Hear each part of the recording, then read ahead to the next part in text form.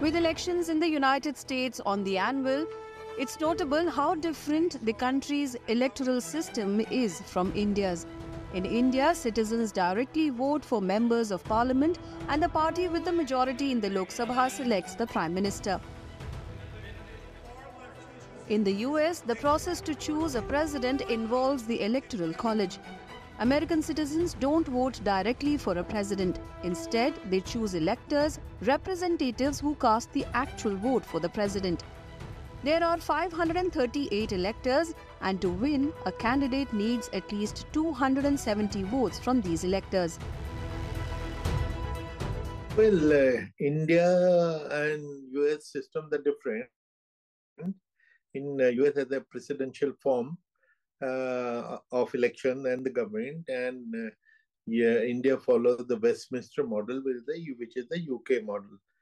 Now, in USA, uh, they follow the system of electoral college, um, which distorts the popular vote. Uh, it happened in the uh, in uh, Hillary Clinton's time. She got three million more popular votes, but she got less uh, votes of uh, the electoral college and and some states, particular which are considered the swing states, decide this. In the US, when citizens vote, they are essentially voting for electors pledged to their candidate, not the candidate directly. In most states, the candidate who wins the majority in that state gets all of that state's electoral votes. This means a candidate can win the presidency without winning the national popular vote.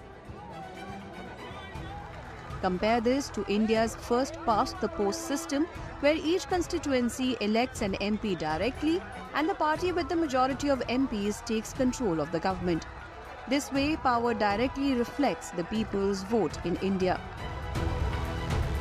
So they propose the Electoral College, and that gives every state a number of votes equal to its number of representatives in the House of Representatives plus two senators. Every state gets two senators.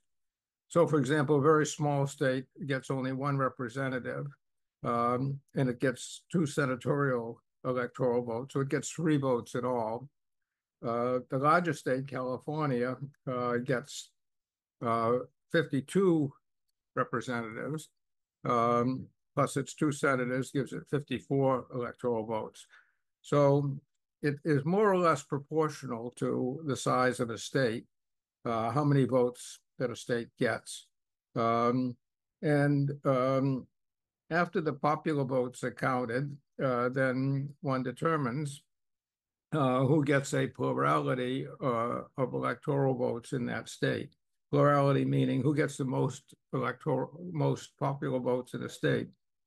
And in almost all states, in 48 of the 50 states, um, all the electoral votes of that state go to the popular vote winner, even if it's not a majority. The final step also differs. After the electors are chosen in the US, they meet 41 days later in December to formally cast the official votes, which the Congress counts in January to declare the next president. In India, however, the Election Commission announces the results right after the count. The president then invites the majority party or coalition leader to become the prime minister. This makes India's transition of power more direct, while the US relies on the Electoral College to make the final decision.